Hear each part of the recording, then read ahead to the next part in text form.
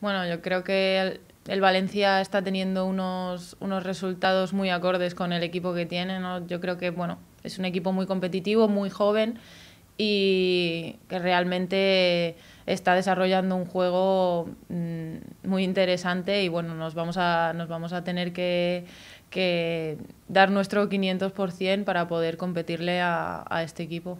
Eh, bueno, vamos a tener que estar súper súper atentas en defensa, sobre todo. Al final es un equipo que, que realmente eh, a nivel estadístico pues puede dar la impresión de que nos puede someter un poco con balón, con lo cual yo creo que la intensidad defensiva no puede faltar. Creo que es algo que estamos desarrollando durante esta temporada y que cada vez estamos creciendo un poquito más, estamos dando pasos hacia adelante y eso no lo podemos perder sobre todo. Y luego pues eh, intentar proponer en nuestro nuestro, estilo de juego, nuestro modelo y, nada, sobre todo ser muy intensas. Sí, son tres puntos que, bueno, eh, como dices, son vitales. Creo que estos tres puntos y cada, cada tres puntos que, podamos arañar van a ser vitales para nosotras esta temporada.